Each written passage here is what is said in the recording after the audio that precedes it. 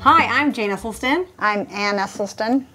and today she's got some things up her sleeve. We are going to have um, my version of what is it? A couple of different recipes. Okay, with some things together. It's uh, peach melba, so to speak. And um, so it starts, of course, with peaches, or I, I actually I like nectarines a lot because I, I believe in using the skin of everything. Everything. And so n- nectarine skins is sometimes nicer than peach. This is a combination of peach and nectarines. And I'm just going to put a few in each bowl. I happen to have just two bowls here. These are my beautiful bowls that our son gave me for Christmas. And I, th- um, the peaches that we had, I knew they were, were ready to go because all the fruit flies were starting to pay attention to them, which means they're getting so sweet. And the next thing is to make, um, uh, with tofu, a mousse, a, la- a lemon mousse. If you're following along, it is the frosting that we use on our lemon cupcakes with lime frosting. And we use- lime, we're using lemon. So that's on page 255. We like the Mori-Nu light silken tofu. If you don't use silken and Firm. and firm, uh, you, you get something too runny and too gritty. So use light silken tofu. And here it is in here. Jane is giving putting some zest of a lemon. And then you have to put in about two or three tablespoons of lemon juice. And Jane, do you want to do that? Sure. And then I am going to put in a third cup of maple syrup. And All right, tell me if you think this is enough lemon. Oh, it doesn't feel, Well- it doesn't feel very juicy. you have to tell lemon, Billy. you have to Oh tell my gosh! somewhat by this is tasting a stone. it. That's because she should be using my lemon Reamer. reamer. Oh my gosh, that was like this was maybe the worst. Had great zest. Okay, you were a great lemon, but it was a lemon of a One of the things Oh. when lemons are is to put them in the microwave a minute. Okay, might that be enough? Let's try. Oh my gosh, this is such a And then the next thing to do, Oh.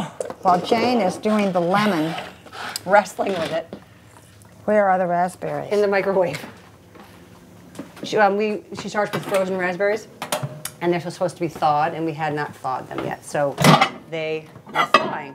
Was that enough? Yeah, you don't need to thaw them. And this is just, uh, you really, these even more than you need. And just, you want to stick this lid on. Um, here. All right, that's ready to grind.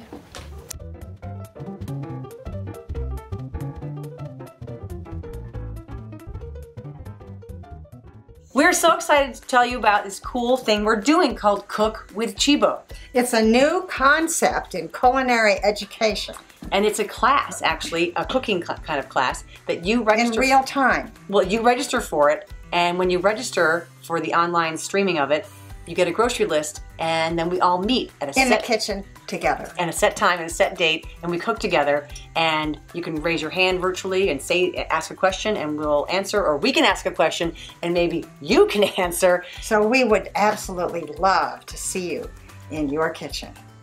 Cook with Chibo and with us. Thanks. Bye. Bye. Okay, let's grind up this one now. This is my favorite dessert to serve with lime instead of lemon. And then I layer lots of raspberries, fresh raspberries, bottom, middle, top, with a with, a sprig of mint on the very top. It's a beautiful summer, any time of year dessert. Did you hear that? And this, just plain frozen raspberries, makes a fabulous sauce on pancakes, just on what, any time you might need Toast on anything. anything. Jane, can you open that? Yeah. And then I like to put a tablespoon of, of, and this happens to be from that box of Jane's, a raspberry white vinegar that I don't have a tablespoon, but that's about it. Of course, the acid queen is adding some vinegar.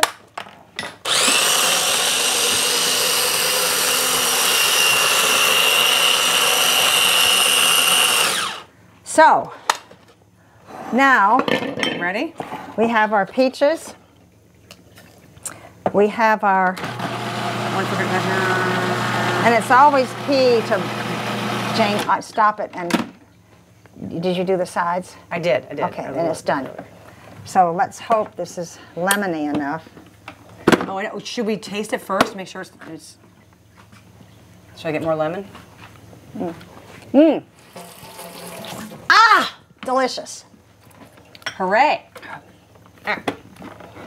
I'm trying to do this backwards. Okay. And then you just put this on top. Should I slice the mint? No, no, no, no, Okay, okay, okay. no. This.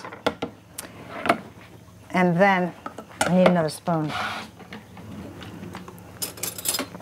Some raspberry sauce.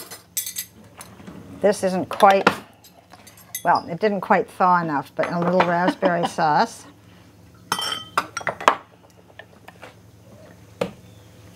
That's gorgeous. And then on top of that, I love to get mint.